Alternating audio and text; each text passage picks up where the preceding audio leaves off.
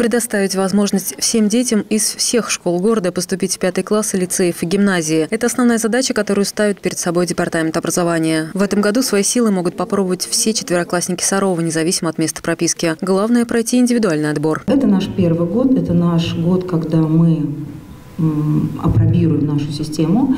Могу сказать, что безусловно, что мы не лидеры в этой области и что большинство а, крупных городов давным-давно перешло на эту систему. А самое главное, что вы должны понять, что ребенок тянет и справляется с той нагрузкой, которая дается ему и будет даваться при достаточно высоком темпе и при достаточно высокой проходимости материала. Приемная кампания в лицее и гимназию стартует 15 апреля. До 22 апреля включительно эти школы будут принимать заявления от родителей четвероклассников. Каждая образовательная организация принимает свой пакет документов. В этом году лицей 15 набирает три класса, третий лицей, вторая гимназия по два класса. В каждом классе в каждой из этих школ будут учиться по 25 детей, не больше. Уже в 20-х числах апреля начнутся вступительные испытания. Гимназия 2 проводит два вступительных испытания.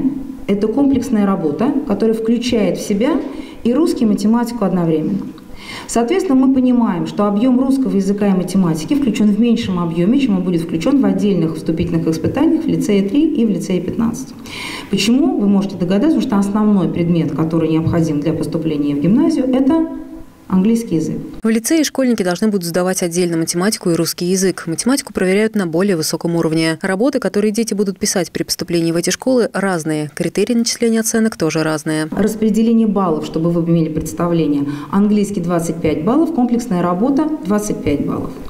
Математика, а, математика и русский как распределяется в лицее номер 3 и в лицее номер 15. 15 баллов за русский язык и 35, так как это базовый углубленный предмет, 35 баллов.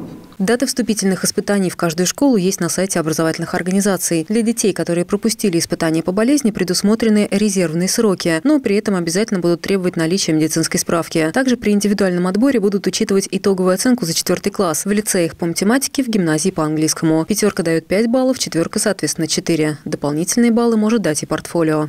Победы и призовые места в школьном этапе Всероссийской Олимпиады школьников – Школьный этап Всероссийской Олимпиады школьников вы писали в этом году по математике и русскому языку. Итак, соответственно, если вы имеете диплом победителя, у вас 2 балла. Если имеете диплом призера, то 1 балл. Следующий большой блок – это участие в олимпиадах и конкурсах из перечня Министерства просвещения и Министерства оборнауки Российской Федерации. Можно предоставить и дипломы за олимпиады и конкурсы не из перечня, но не награды за онлайн-олимпиады или платные конкурсы. Они в расчет не идут. Дополнительный балл даст ребенку диплом призера или победителя в спортивном или творческом соревновании. Но нести всю папку грамот не надо, достаточно одного документа. Вся подробная информация о поступлении в лицеи и гимназию есть на сайте Департамента образования и этих образовательных организаций. Екатерина Пенова, Константин Островский, Евгений Иващенко, Служба новостей Саров 24.